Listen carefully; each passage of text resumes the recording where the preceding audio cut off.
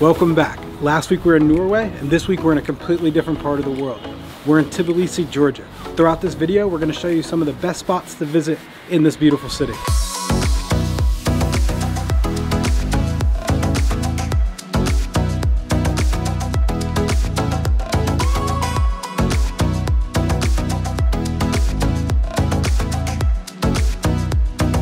Before we dive into this video, we wanted to take the time to address what's going on in the world right now and how it's going to impact our future travel plans and just the world in general. Um, about 48 hours ago, Russia invaded Ukraine, which has had a ripple effect throughout the world, and it's just terrible. We were supposed to be in Georgia for the next two weeks, but with everything being so close by, we've decided that uh, we, we just don't think being here right now would be the best for us. We're going to be here the next three days, and then we're actually going to be leaving. This was one of the countries that I was looking the most forward to visiting. Uh, the people are so nice, the food is amazing, and it's supposed to be such a beautiful place. So I'm, I'm definitely sad that we have to leave this part of the world, but we will come back. Hopefully this gets resolved sooner than later. Yeah, hopefully by the time this video comes out, there'll be peace and it won't be war. Right now for us, we have to do what we think's best and just be overly cautious. But the next few days, we're going to be enjoying this beautiful city and seeing what it has to offer. All right, more uplifting things. yes. First up is the Holy Trinity Church of Tbilisi. The Holy Trinity Church, also known as Sameba, which in Georgian means Trinity, was built between 1995 and 2004, and it's located on Elia Hill. Many of the locals considered it an eyesore. I think it's beautiful and iconic the big gold roof. You can see it from almost anywhere in the city. And uh, what's kind of unique about Tbilisi, it's built in this big valley of mountains. But this church and a couple of the other locations we'll show throughout our time here are located up on hills, so they're great overlooks for the city.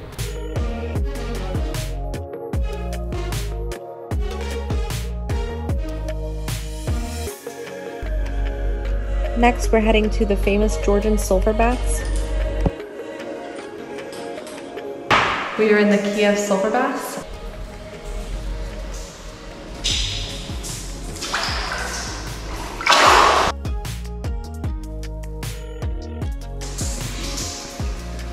So Marissa's in there getting her kisa and the lady said we couldn't film in there. So I guess we don't get to show you guys what it looks like. There's a little window though. They're taking her skin off. During the they exfoliate all your skin. They use like a coarse pad and they like go across your body with like soapy water, remove all that excess dead skin. I mean, it seems pretty cool. I don't know if we're at like the most luxurious place, but the price was good. I mean, it was 100 lira. That included slippers, towels, soaps. You see like the dead skin yeah. on it? Skin. I just finished my kisa. She scrubbed my entire body raw, pretty much. There was so much dead skin that came off. It was kind of gross. Uh, afterwards, I jumped in the cold shower to rinse off all the dead skin, and now I'm back into the sulfur bath to soak and relax for a minute. Uh, just keep in mind, if you're a lady, she will ask you to take off your top, most likely. Um, it was fine. It wasn't uncomfortable or anything. I'm glad I did it, and I would definitely do it again. We just made it into Rike Park, which is located right next to the Peace Bridge. This is a new and very popular park amongst tourists and locals. Also located here is the cable cars to go up to the Narikala Fortress.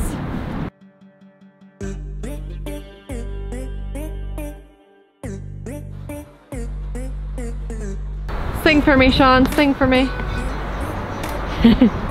Woo! That's super cool.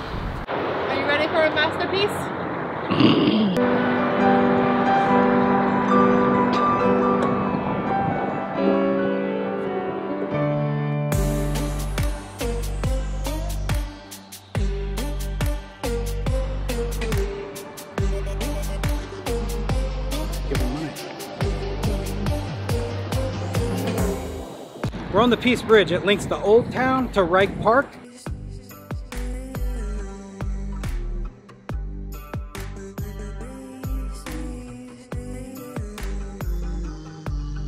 When you're on the bridge, beware of people coming up to you trying to sell you things. And then were, when we first came on the bridge, there was all these guys with these hawks and birds and peacocks.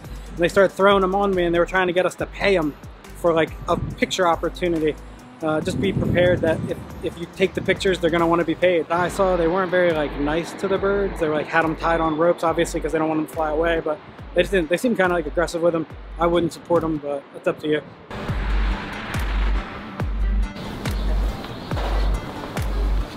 We just left the Bridge of Peace and we're taking about a five minute walk to the Leaning Clock Tower. Tbilisi is full of really unique and cool buildings and architecture. It's one of the many locations in Tbilisi where you can take some awesome photos. Walking from the Peace Bridge over to the clock tower, you uh, go through the old town and it's super beautiful over here. It's like all old and well preserved. It looks awesome. No. So sleepy. There she is. That looks like something out of Harry Potter, yeah. doesn't it? Yes. Definitely looks like something out of a movie. I feel like there should be like an old steam engine train coming through here or something like.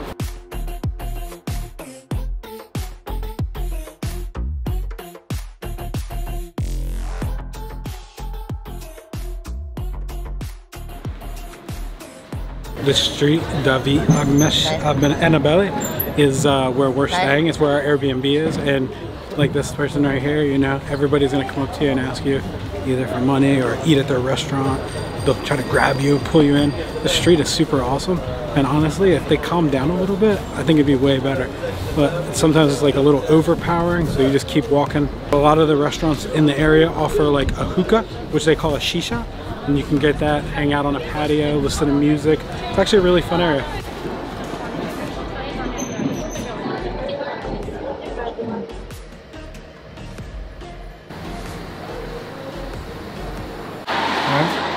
Alright. You said that's good for up and down? Yes. Alright, thank you so much. We got our card for two people up and down the funicular, and it was 34 lari, so a little less than $12. We're going up there. Oh my god. You want to go in the middle? Yeah.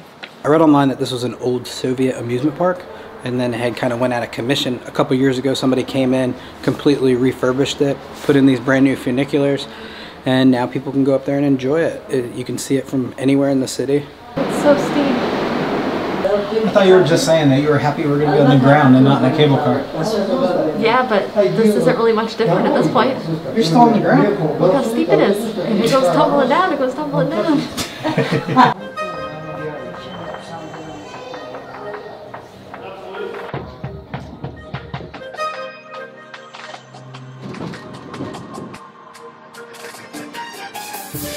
We made it up. I didn't look up at all. I just stayed into my phone the entire time. It just kept on going. Uh, but we're here. I'm on solid ground now, so we're good. Some people spend hundreds of thousands of dollars to rent out the entire Disney park. Why not just come here on a Monday morning? You could bring a group of two for 34 lari. It doesn't look like any of the rides are open, but you could feel like you're in an amusement park by yourself.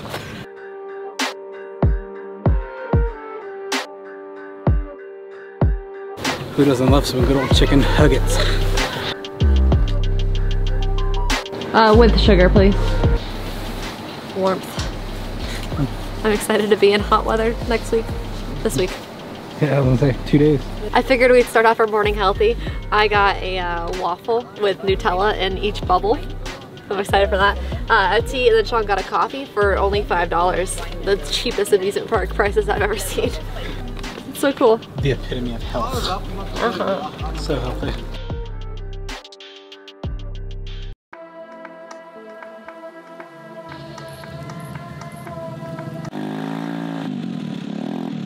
This would never happen in America.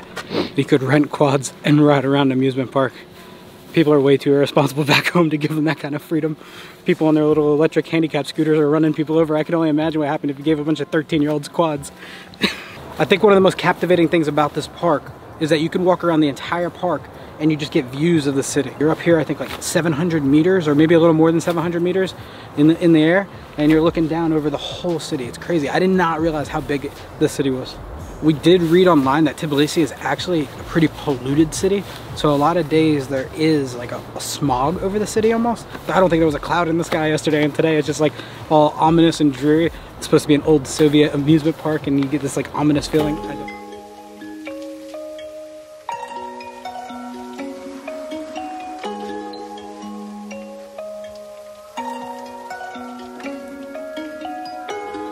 This park was developed in the 1930s by the Soviet government, and it was once the third most visited theme park in the USSR.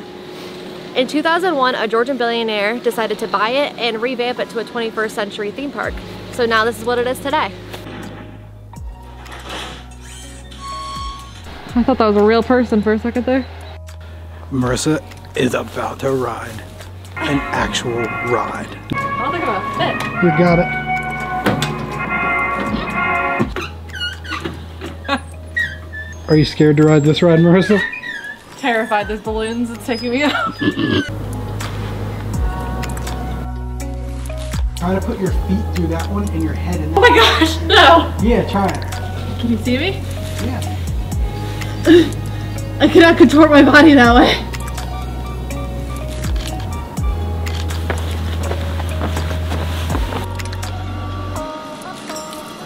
Well, we just finished up walking around the park. Honest opinion, if you're in Tbilisi, I don't see a reason not to come up here. For less than $13, you get spectacular views. You can grab some food. There's a bunch of restaurants around the park. If you want to ride the rides, go for it.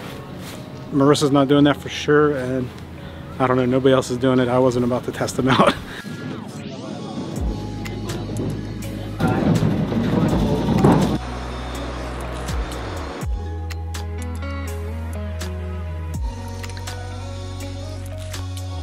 Just a quick boat ride down the road from the theme park and about four lari, and we're here at the Narikala Fortress. This fortress dates all the way back to the fourth millennium BC, legend has it. It was settled by the Kingdom of Iberia. There are archaeological facts that date it back to 400 AD that are like solid concrete proven, but the legend says fourth millennium BC, which is insane. That's so old. It looks old and it's perched in the perfect spot to look over your kingdom. Sean's so much braver than I am.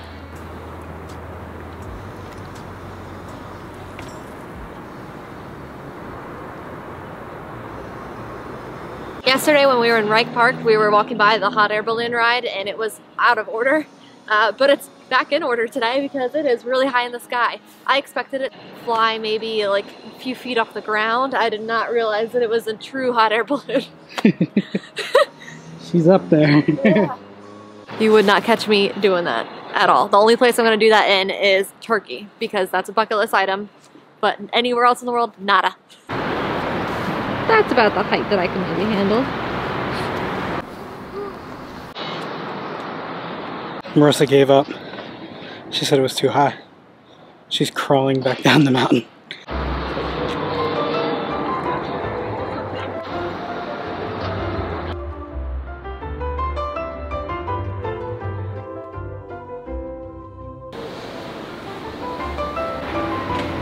Why are so many human-like mannequins everywhere? We are in Old Town near the original Sulphur Baths and Narikala Fortress. Um, this area is so alive. Like, there's people playing music and it's just a beautiful area to just stroll through and get lost in. I love it.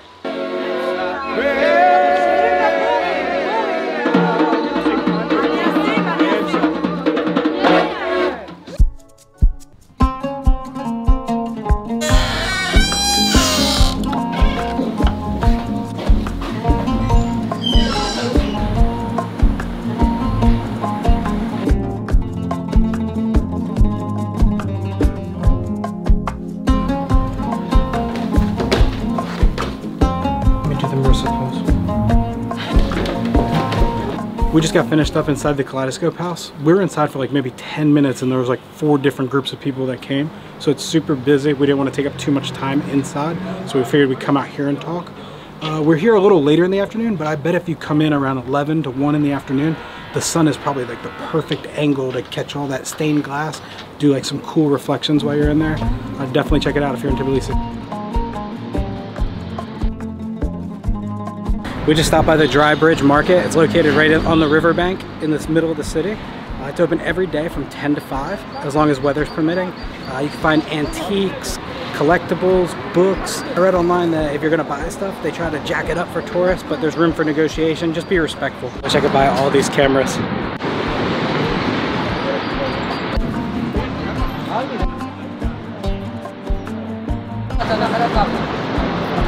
Yeah, I think I'll get these. So this is Italian.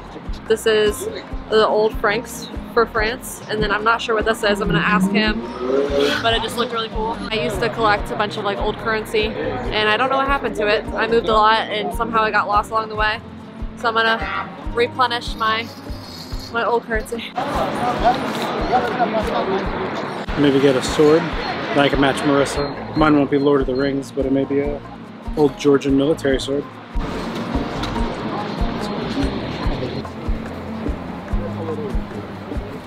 Today is our last day in Georgia. Sad to leave. We don't have much on the agenda today, but we're gonna try to get some stuff done. We have to ship some clothes back home, and then also we have to get COVID tested.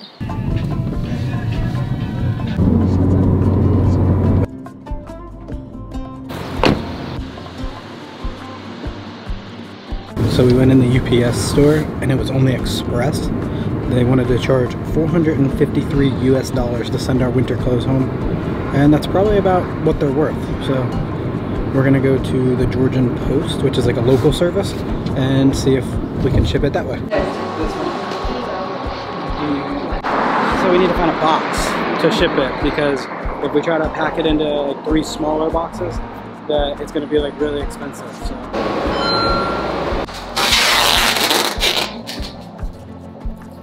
one box.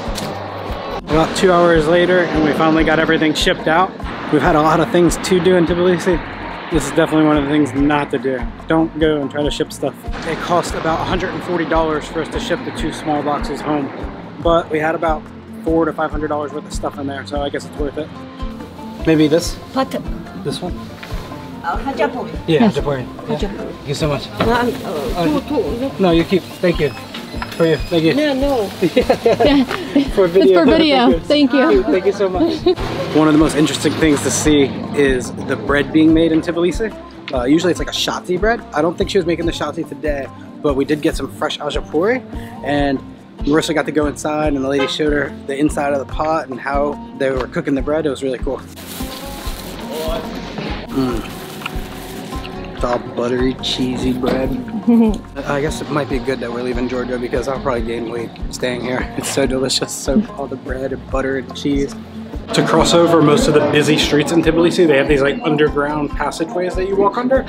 And uh, inside a lot of them, there's these like shops and performers. They're, they're really cool. A lot of them are full of artwork all over the walls and murals. Well, we just came out of our cooking class and the whole main road of Rustaveli, which was full of six lanes of cars earlier, is like completely shut down. There's police lights, people carrying flags. I think there's probably some more demonstrations for Ukraine going on. And we've got to walk through it to go back to our Airbnb, so let's go see what's going on.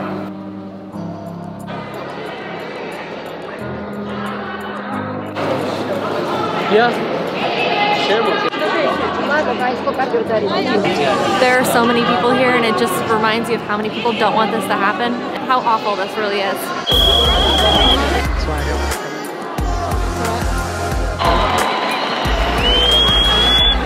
I think that's probably a perfect place to end this week's video. Uh, our hearts go out to everybody in Ukraine and Georgia. Terrible situation and obviously the country of Georgia is standing tall in support of Ukraine. It's a terrible part of their history that they don't want to see repeated around the world, and, but we'll definitely be back. Yes, this this country, this culture, everything, it's just something that like I feel like not a lot of people, especially in America, know about. And this is a country that you should visit and you should experience in your life. If you are into traveling and you want to see the world, this country should be high on your list. Thank you guys for watching. Thank you so much for watching. Yeah, and if you like this video, make sure you subscribe. Tell your friends. I don't know how many times I gotta tell you. The follower count's not going up fast enough. I'm not a patient person, okay? no, he's not. So hit that like button. Yeah, hit that like button. Subscribe.